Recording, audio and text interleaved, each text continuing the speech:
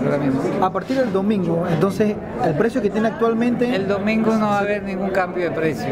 La mezcla va a entrar a partir del domingo, pero nosotros vamos a hacer revisión de precios ya como para el 6-7 de septiembre, no tenemos la fecha pero el, precio, la mezcla va a entrar, en este momento se, va a mantener el precio tal cual como está ahora mismo en el país. A partir del 5 o 6 de septiembre entonces se aumentaría que un centavo. Se van a revisar los precios. Los precios, acuérdense que los precios nada más no es el precio del etanol. ¿Qué pasa con los precios de los derivados del petróleo? Si van a subir o a bajar.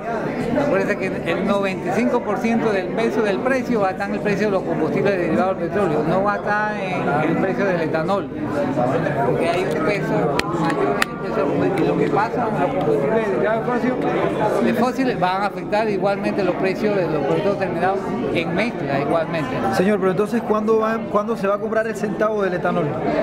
El, los próximos cálculos de precios se va a incorporar el precio del etanol.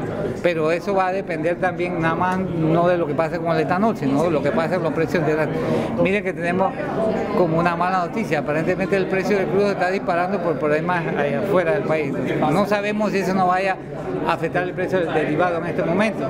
Hay que ver una cosa importante, nosotros cotizamos precios de productos derivados del petróleo y hay que ver cómo se comportan esos precios también.